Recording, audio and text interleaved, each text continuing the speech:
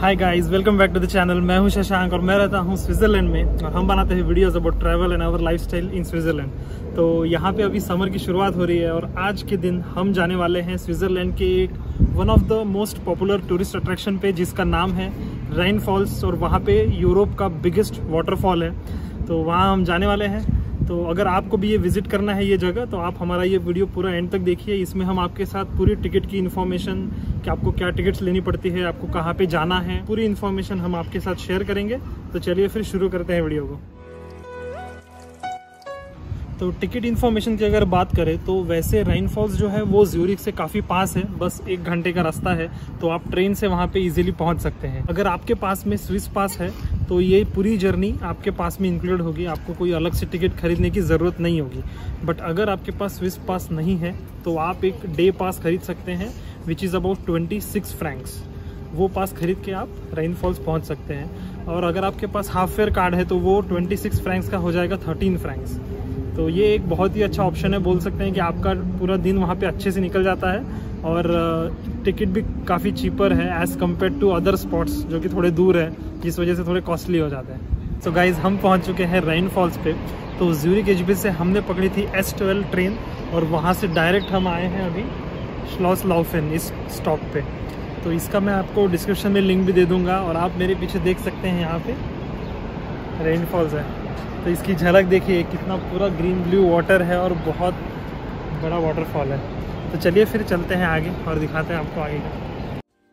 सो गई स्टेशन से आगे आते ही आपको आ, सामने लिफ्ट दिखेगी। तो लिफ्ट की एंट्री फ्री होती है और इससे आप ऊपर जा सकते हैं और ऊपर में कासल है।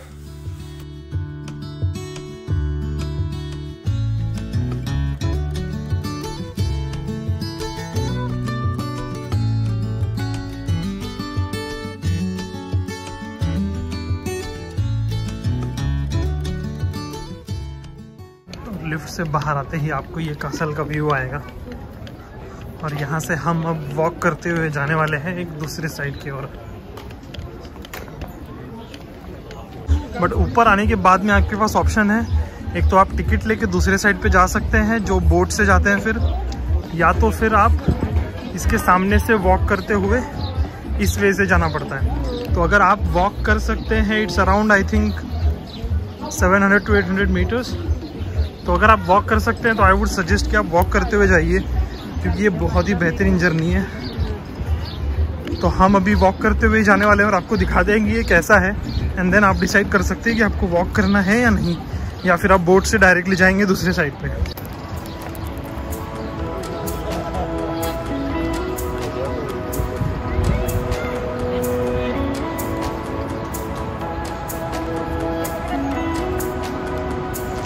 मैंने ले लिया शॉर्टकट में आगे आ गया ये लोग पीछे से आ रहे हैं।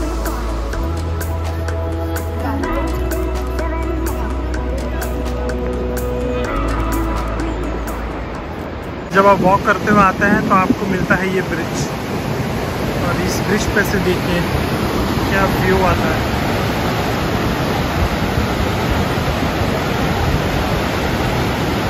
बहुत ही ज़बरदस्त लुक है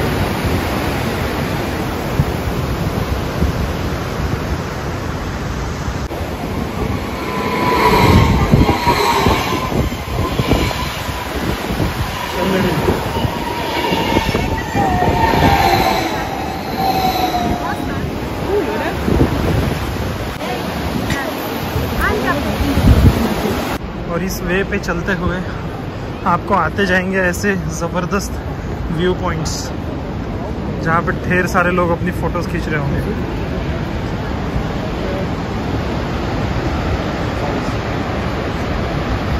तो हम वहाँ पे थे और वहाँ से चलते हुए इस ट्रैक पे से हम अभी यहाँ पे आए हैं।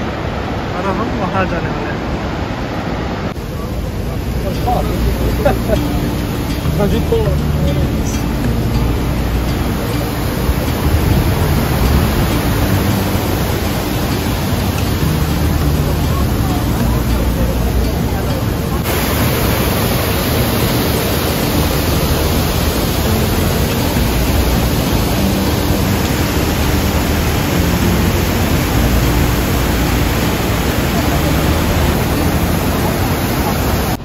गाइज़ मेरे पीछे आप राइन फॉल्स का व्यू देख सकते हैं। तो अभी आपको यहाँ पे रुक के ना मैं थोड़ा सा इन्फॉर्मेशन दे देता हूँ कि यहाँ पे क्या क्या एक्टिविटीज़ हैं। तो सबसे पहली चीज़ तो ये है कि हमने वहाँ से शुरू किया था, वहाँ पे है श्लॉफ स्टेशन जहाँ पे हम आए थे ज्यूरिक से। और वहाँ से हम वॉक करते हुए आए हैं। अराउंड द जो ये फॉल है, ये रिवर है राइन रिवर तो उसके साइड से एक वॉक आती है, जिस पे से वॉक करते हुए हम आए हैं इस स्पॉट पे। और यहाँ पे, और यहाँ पे आगे में इस डायरेक्शन में यहाँ पे है बोटिंग का। तो यहाँ पे बोटिंग एक्टिविटीज़ होती है तो यहाँ पे चार पाँच इन्होंने रूट्स बनाए हुए हैं। उसमें से आप सिलेक्ट कर सकते हैं कि आपको कौन सा रूट कवर करना है। और बीच में आप देखेंगे तो रेन फॉल्स के यहाँ पे एक और स्पॉट है विविंग पॉइंट जहाँ पे आप बोट से जा सकते हैं सिर्फ़। तो ये जो बोट्स है, ये आपको एकदम फॉल्स के पास ले जाती है तो थोड़ा सा आप पे पानी की छीटें वगैरह भी उड़ती है। तो अगर आपके पास नैपकिन या टॉवल्स वगैरह है तो तो ही जाइए, वरना तो आप गीले हो जाएँगे वहाँ पे। तो लास्ट टाइम हम वहाँ पे गए थे बट देखते हैं यहाँ पे अभी इस बार जाना है या नहीं। आप देख सकते हैं यहाँ पे अलग अलग कलर्स की बोट्स चल रही है। कुछ पिंक है, कुछ येलो है, कुछ ब्लू है।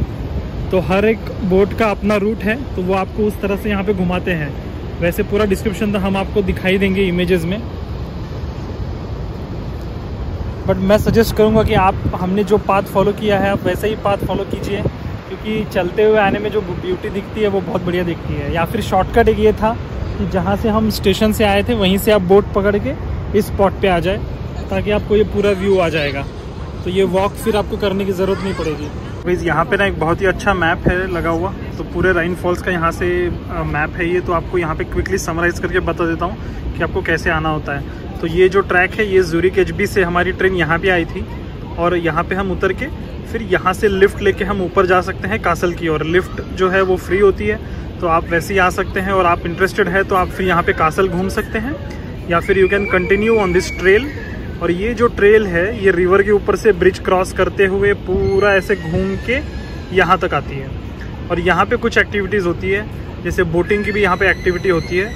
और अगर आप वॉक नहीं कर सकते हैं तो आप ट्रेन स्टेशन से नीचे उतर के यहाँ से बोट ले सकते हैं। वो बोट आपको इस स्पॉट पे लेके आएगी। और फिर इस स्पॉट से आप अलग अलग बोट्स बुक कर सकते हैं, जो आपको इस व्यूइंग पॉइंट के पास ले जाएगी। और, या फिर तो यहाँ से और आगे आप बोट से घूम सकते हैं। तो यहाँ से अलग अलग बोट्स जाती है। और यहाँ पे थोड़ा पिकनिक एरिया वगैरह भी है तो आप चाहे तो अपने साथ पिकनिक वगैरह भी ला सकते हैं और यहाँ पे बैठ के फैमिली के साथ एंजॉय कर सकते हैं। और ये रास्ते में वैसे डब्ल्यूसी वगैरह सब कुछ है तो कुछ प्रॉब्लम नहीं होती है।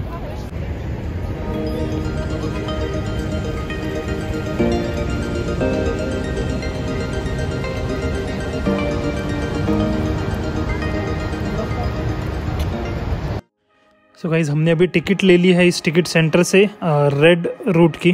तो अब रेड वाली बोट से हम वापस जाएँगे हमारे स्टेशन पे। और इस मैप में आप अलग अलग बोट के रूट्स देख सकते हैं। हर एक रूट के लिए अलग अलग चार्ज होता है। यहाँ से अब हम पहुँच जाएँगे हमारे वापसी के स्टेशन पे, जहाँ से हमें मिल जाएगी ट्रेन ज्यूरिक एच के लिए। तो इसके साथ हमारा ये राइन फॉल्स का सफ़र ख़त्म होता है। और गाइज़ ये जो स्पॉट है ना, ये बहुत ही अमेजिंग है। तो अगर आप आते हैं स्विट्ज़रलैंड तो आई वुड डेफिनेटली रिकमेंड कि आपको यहाँ पे आना चाहिए। और आपने जो ये डे पास लिया था, इसमें आप बाकी कुछ और स्पॉट्स भी कवर कर सकते हैं, जैसे कि यूटलीबर्ग तो अगर आपके पास और टाइम बचा है तो आप यहाँ से फिर यूटलीबर्ग भी जा सकते हैं। वो भी इस पास में इंक्लूडेड है। या फिर आप रैपर्स विल भी जा सकते हैं, जहाँ पे ज्यूरिक लेक से एक क्रूज़ जाती है। वो भी बहुत शानदार होती है। तो उम्मीद करते हैं आपको ये वीडियो पसंद आया होगा। तो इस वीडियो को कर दीजिए लाइक। तो मिलते हैं हमारे अगले वीडियो में। Till then bye bye and take care.